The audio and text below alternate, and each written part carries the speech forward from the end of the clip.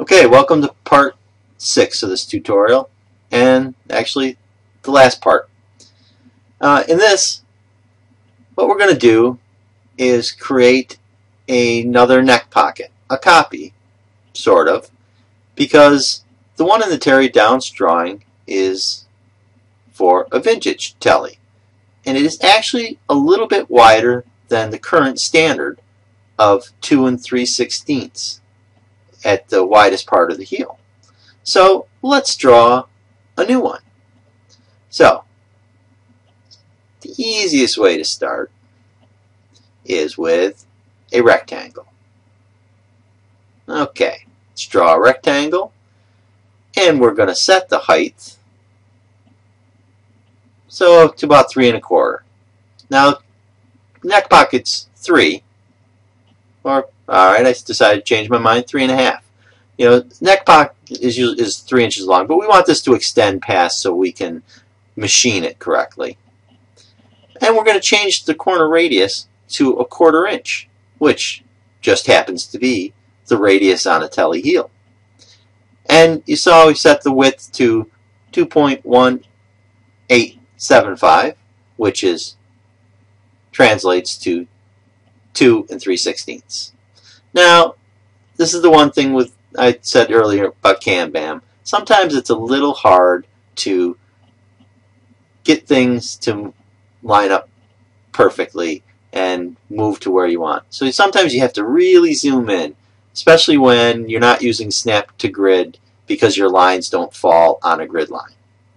So you can see uh, zoom, zoom in closer and closer and closer, and it's still not right on there. So, yeah, just move it again. I mean, you know, we're talking, you know, being off a thousandth of an inch.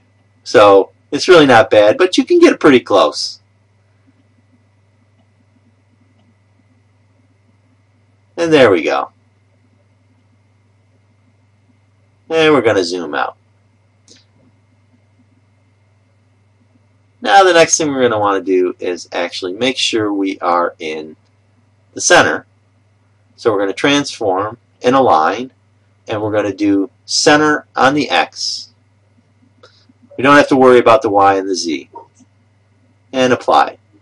So now our new neck that new neck pocket is right uh, centered on the center line. Perfect. But we have to take deal with the taper now. Because, as we all know, neck pocket is not straight on both sides, it tapers. So let's draw another rectangle. And we're going to draw it right at the end of the original neck pocket.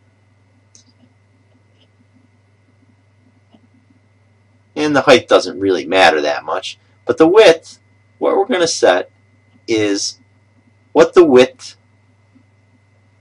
of a standard telly neck is at 3 inches up from the heel.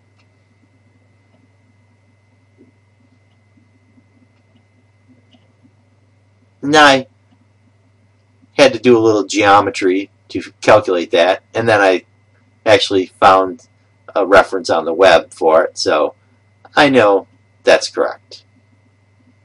So I want to make sure that the top of my new little rectangle is right uh, at the end of the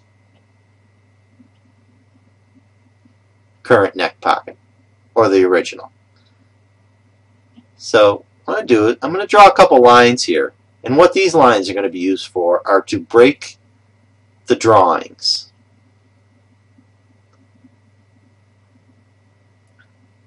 Because when you select multiple objects and they intersect, you can do an operation it's called break at intersection.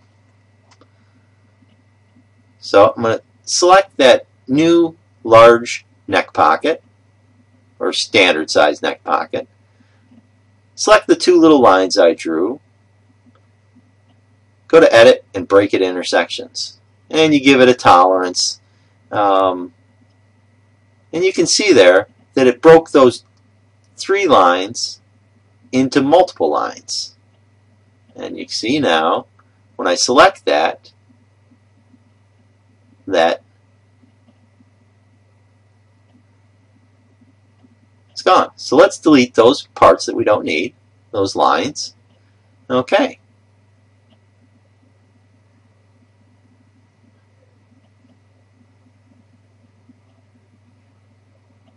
So now you can see that if I select what's left there, it's the original um, neck pocket that I drew, drew, this new standard neck pocket. And when you double click or go on the thing and do edit, you can see that the control points show up. So when you just click and drag, um, now I'm now going to drag it over to that narrower rectangle I drew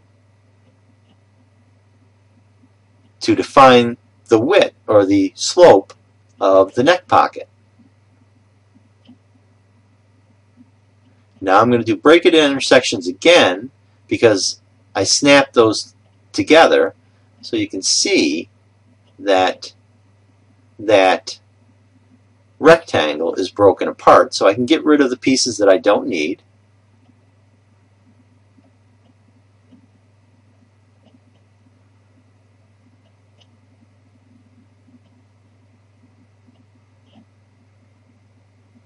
and then I can select the pieces that are left that I want and I'm going to do a join on them.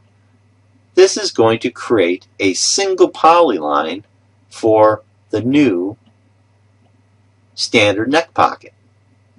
Not much difference, really, than the Terry Downs drawing, but it is the new standard. So, there we go. And that's it.